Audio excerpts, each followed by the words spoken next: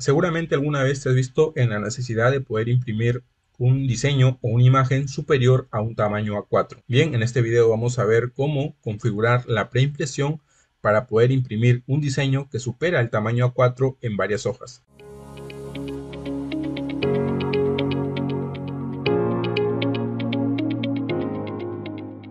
Para ello aquí tengo este, este diseño, que es un vector, y como vemos mide aproximadamente 40 centímetros de alto por 37 centímetros de ancho.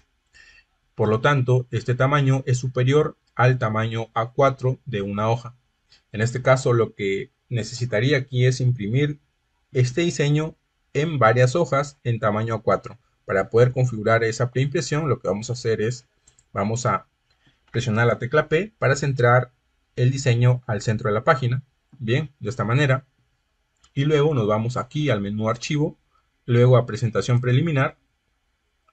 Y aquí nos va a mostrar una previsualización de cómo se vería, en este caso, el diseño impreso en una hoja en tamaño A4. Ahora, para poder imprimir el diseño original en varias hojas, vamos a activar esta opción que dice imprimir páginas en mosaico. La activamos y miren cómo por defecto me ha detectado la cantidad de hojas en tamaño A4 que se van a necesitar para poder imprimir el diseño. Como vemos se necesitarían cuatro hojas para poder imprimir el diseño en el tamaño que le he indicado.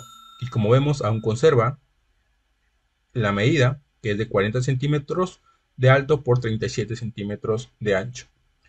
Si por A o B lo quisiéramos hacer más grande, podemos directamente cambiar aquí y hacerlo más grande o incluso más pequeño. Supongamos que lo quiero hacer más grande, eh, le voy a poner 50 centímetros, pero antes, pero antes debo asegurarme de tener activado este candadito para mantener la proporción. Bien, le doy 50 y le doy Enter.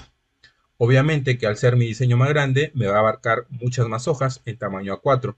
En este caso, ahora necesitaría 9 hojas para poder imprimir este diseño. Bien, yo lo voy a dejar tal y como estaba, en 40 centímetros y lo voy a poner más o menos aquí para que únicamente me ocupe cuatro hojas.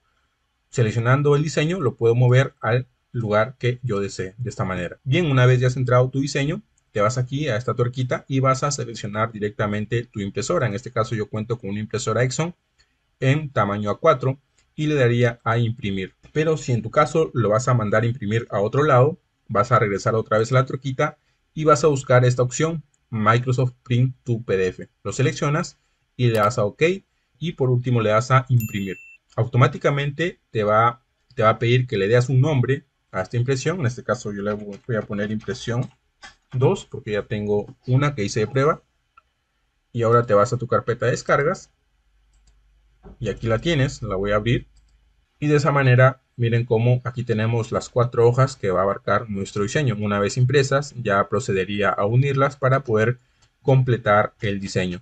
Bien, eso sería todo por el video. Si te ha gustado, si te ha servido, por favor, regálame un like, déjame un comentario y nos vemos en otro próximo video.